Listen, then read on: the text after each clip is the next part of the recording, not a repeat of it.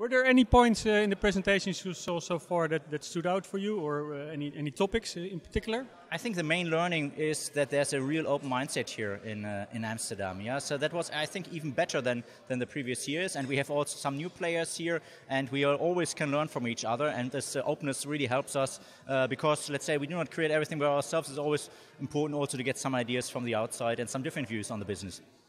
What would you say is the added value of the conference?